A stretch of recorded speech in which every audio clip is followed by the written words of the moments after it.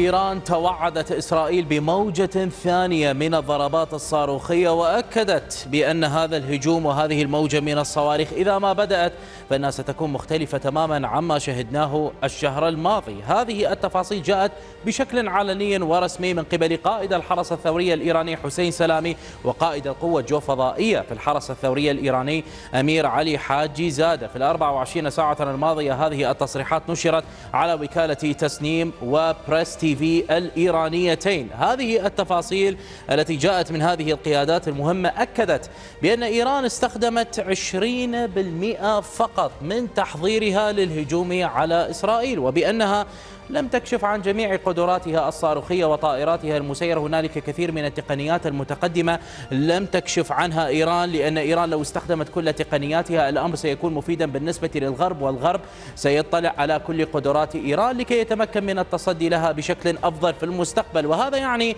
أنهم استخدموا النسخ القديمة من صواريخهم ومن طائراتهم المسيرة في هذا الهجوم. بينما الجانب الآخر استخدم منظومة دفاعية كاملة بجغرافيا كبيرة ممتدة من البحر المتوسط والبحر الأحمر وصولا إلى العراق. الطائرات الحربية الأمريكية مع البريطانية مع الفرنسية كانت تحلق فوق الأجواء السورية وكذلك فوق الأجواء العراقية من أجل التصدي. تحديدا الطائرات الأمريكية فوق الأجواء العراقية للتصدي. لهذا الهجوم بالإضافة أيضا إلى الطائرات الإسرائيلية والمنظومات الدفاعية من منظومات الباتريوت والقبة الحديدية وحتى المدمرات في البحر المتوسط والبحر الأحمر كانت حاضرة أما المملكة الأردنية الهاشمية فهي تأتي جغرافيا وسط هذه المعمعة. وسط هذا الصراع وبالنسبة لها هي مسألة سيادة ولكنها جغرافيا تقف كعائق.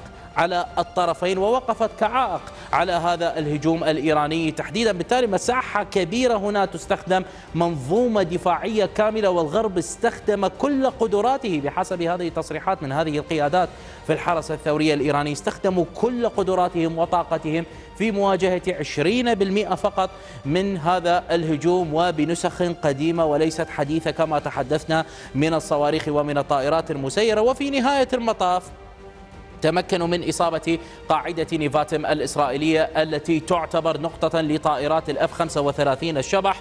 وهذه القاعدة طبعا هي مرشحة أن تلعب أدوارا مستقبلية في ضرب المفاعلات النووية الإيرانية. ما تحدث عنه حسين سلامي تحديدا قائد الحرس الثوري الإيراني هنا قال بأن إذا ما بدأت الموجة الثانية من الضربات الصاروخية فهي ستختلف تماما وبأنها ستقلل من قدرة هذه المنظومة الدفاعية الكاملة التي نراها هنا بنسبة 50% بمعنى آخر بأن إيران ستزداد دقتها بهذه الموجة الثانية بنسبة 50% أي أن الإصابات ستكون دقيقة وخطيرة للغاية على العمق الإسرائيلي وهذا أيضا يعني من جهة أخرى سيكون هنالك عددا أكبر من الطائرات المسيرة والصواريخ تستخدم في هذا الهجوم الثاني وكذلك بأنهم سيستخدمون آه، أيضا آه، أكثر وصواريخ أكثر تطورا وطائرات مسيرة أكثر تطورا من التي استخدمت في الهجوم الأول. وهذا الأمر قد يكون ممكنا جدا بالنسبة للجانب الإيراني في ضرب إسرائيل وتحقيق مثل هذه النجاحات خاصة وأنهم يمتلكون صواريخ الفرد صوت تحديدا التي يعتقد بأنها بأن إيران استفادت من روسيا كثيرا في هذه المسألة مع تقاربها مع روسيا في الحرب الروسية الأوكرانية رغم أن كانت هنالك مصادرا تحدثت بأن إيران استخدمت في هذا الهجوم الصواريخ الفرد صوت على إسرائيل إلا أن حتى هذه اللحظة ليست هنالك أدلة على الأرض تؤكد يؤكد هذا الأمر بشكل أكيد. بالتالي الجانب الإيراني كان حذرا في الهجوم الذي نفذوه. طبعا الأول والهجوم الثاني قد يعني مشاركة مثل هذه الصواريخ. إذا ما دخلنا بهذا السيناريو في ظل تغير للقواعد وهجمات مباشرة بين الطرفين. كذلك في نفس الوقت أيضا أن المنظومات الدفاعية لم تكن حاضرة بهذا الشكل الكبير في التصدي. 99% من الصواريخ والطائرات المسيرة تم التصدي لها. نعم ولكن الآن ما كشف بأن مدمرتين أمريكيتين استخدمتا نظاما دفاعيا للمرة الأولى ولم يكن ناجحا 100% في التصدي للصواريخ البالستية تحديدا. لم تكن هنالك مشكلة في التصدي لصواريخ الكروز والطائرات المسيرة لكن صواريخ الصواريخ البالستية الإيرانية كانت هنالك مشكلة في التصدي لها. على سبيل المثال الناشونال إنترست يوم أمس كانت قد كشفت بأن الولايات المتحدة الأمريكية استخدمت المدمرة يو إس إس آرلي بيرك وكذلك يو إس إس كارني في هذا التصدي للهجوم الإيراني وبأن المنظومة التي استخدمت SM-3 للمرة الأولى تستخدم هذه المنظومة المتخصصة في اصطياد الصواريخ البالستية البعيدة المدى والمتوسطة المدى. ولكن المشكلة أن هذه المنظومة من ثمانية صواريخ بالستية تمكنت من إسقاط صاروخين فقط. أي بمعنى آخر أن هذه المنظومة فشلت أمام هذه الصواريخ البالستية الإيرانية. وتحدثت حتى الإسرائيل ناشونال نيوز والإسرائيل ريدار بأن 25% فقط من نسبة النجاح للمنظومة الأمريكية الجديدة والمتطورة للغاية تمكنت من إسقاط الصواريخ ب 25% أي صاروخين من الثمانية صواريخ وإسرائيل تمكنت من إسقاط الصاروخ الثالث وهذا هو الذي جعل إيران أن تتمكن من إصابة قاعدة نيفاتم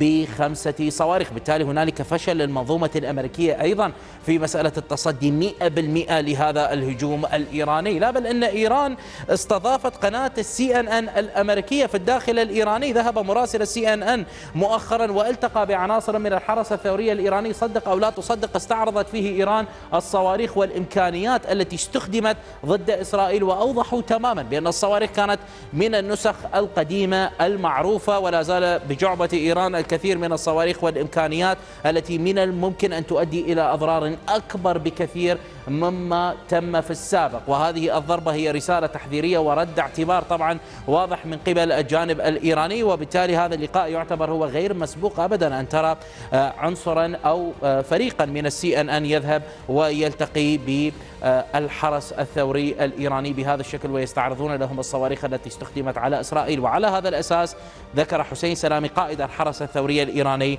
الآتي.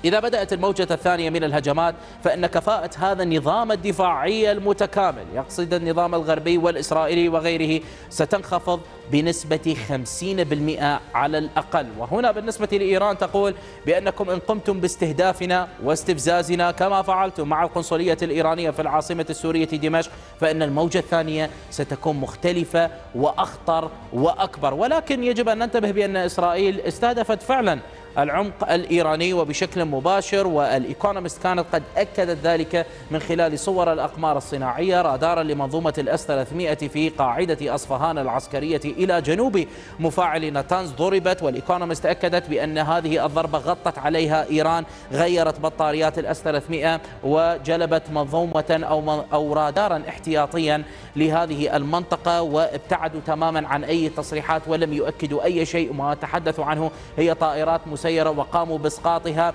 وطبعا مثل هذه الهجمات إيران تعلم بأنها توعدت ويجب أن ترد ولكنها غطت على المسألة. مع ذلك إسرائيل يبدو بأنها تستغل هذه المسألة. وهنالك أحداث غامضة تجري في الداخل الإيراني. ممكن لو كشف بأن إسرائيل تكون خلفها ممكن أن نرى إيران تندفع مباشرة لمهاجمة إسرائيل مع تغير الوضع وقواعد الاشتباك. فعلى سبيل المثال في اليومين الماضيين تحديدا يوم أمس كانت هنالك بعض المصادر والأوساط الإيرانية مثل آه، أنصاف كما تلاحظون هنا تحدثت عن أن هنالك انفجارا كبيرا جاء إلى غرب طهران. والحديث هنا هذه هي طهران والمنطقة التي تحدثوا عنها هي كرم درا. هنا تحديدا في هذه النقطة التي تفصل والتي تأتي بين طهران وبين كرج. أن هنالك انفجارا سمع من قبل المواطنين الموجودين في هذه المنطقة أو في المناطق القريبة منها. وإذا ما اقتربنا من هذه المنطقة مع التدقيق بالقمر الصناعي تقريبا إلى شمال شرق هذه المنطقة تأتي هذه النقطة تحديدا. هذه الصورة من القمر الصناعي هي تعود إلى مايو من عام 2023 أي العام الماضي. المثير أنها شكل هذه المنطقة تغير مع نهاية وبداية العام الحالي. نهاية العام الماضي وبداية العام الحالي. وستلاحظ أنت هنا بأننا أمام ثلاث مباني بيضاء وكذلك مباني باللون الأزرق وهنا طريق واضح جدا وليس هنالك الشيء الكثير هنا ولكن مع تحديث الصورة إذا ما ذهبنا إلى السادس والعشرين من أبريل الماضي على سبيل المثال سترى أن هنالك مباني جديدة قد وجدت في هذه المنطقة. لاحظ هذه نفس المنطقة ثلاثة مباني البيضاء والمباني باللون الأزرق. وهذه هي الصورة القادمة من القمر الصناعي وكل هذه المباني هي جديدة وواضحة وبناؤها كان واضحا حتى هذا المبنى باللون الأبيض. هنالك تغير في لون إحدى المباني مما يوضح أن هنالك انفجارا أو شيء ما قد حدث في إحدى هذه المباني. تحديدا بين هذه المباني الأربعة لنقترب منها قليلا وهذه هي المباني. ولاحظ أن هذا المبنى في السادس والعشرين من أبريل وآخر تحديث للقمر الصناعي يوم أمس الأول من مايو. لاحظ ما الذي جرى في هذا المبنى. تغير باللون واضح هنا بهذا المبنى مما يوضح أن هنالك شيء حدث هنا.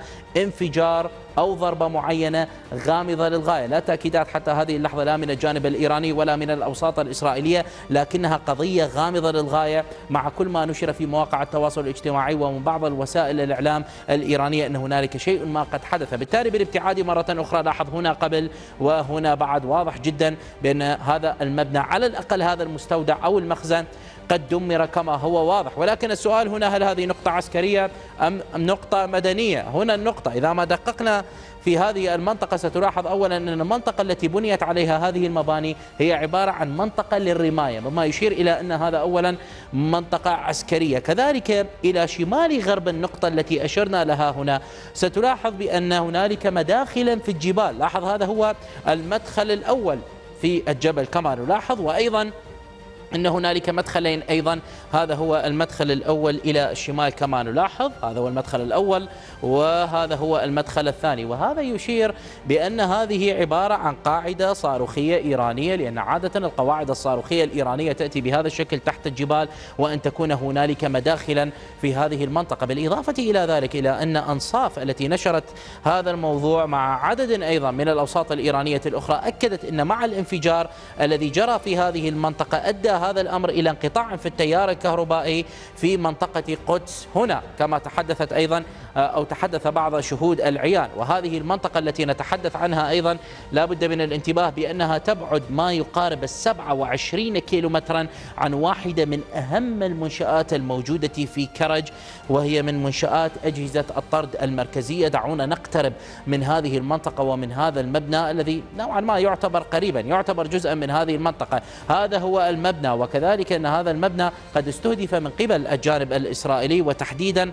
هذا المستودع تحديدا الذي ترونه هنا بهذه الجزئية. إسرائيل قامت بمهاجمة هذه المنطقة في عام 2021 ولاحظ كيف أن هذه النقطة قد دمرت وفي حينها أثارت الكثير من المشاكل بين إيران والوكالة الدولية للطاقة الذرية وكانت العملية أساسا بالطائرات المسيرة. كذلك أن المنطقة التي نتحدث عنها ألا وهي كرمدرة هذه المنطقة ليست غريبة على الانفجارات في على سبيل المثال في فبراير والخامس عشر من فبراير من هذا العام كانت هنالك أيضا انفجارات غامضة في مواقع للحرس الثوري الإيراني كما تحدث هذا المصدر وكان هنالك تصويرا من عدد من شهود العيان الذين أشاروا إلى أن هذا موقع للحرس الثوري الإيراني. لا تصريحات أبدا طبعا من الجانب الإيراني أو توضيحات حول ما جرى في هذه النقطة التي صورت من زاوية أخرى لتؤكد أن هنالك فعلا شيء ما قد حدث في هذه المنطقة. وبالتالي هنالك شيء ما يحدث. ليس واضحا هل هي إسرائيل هل هو الموساد الإسرائيلي يستغل عدم الرد الإيراني ويقوم بكل هذه التفجيرات أم لا؟ هذه الأمور طبعا تبقى غامضة من دون أي تصريحات من إيران أو من إسرائيل ولكن في نهاية المطاف واضح جدا أن هنالك تغيرا في القمر الصناعي مما يشير إلى أن قد نكون أمام هجوم فعلي قد حدث في هذه المنطقة وإن كان حادثا لتحدثت إيران عن هذه المسألة. وقد تعني واحدة من هذه الهجمات بأن إيران تندفع للموجة الثانية التي تتحدث عنها باتجاه إسرائيل.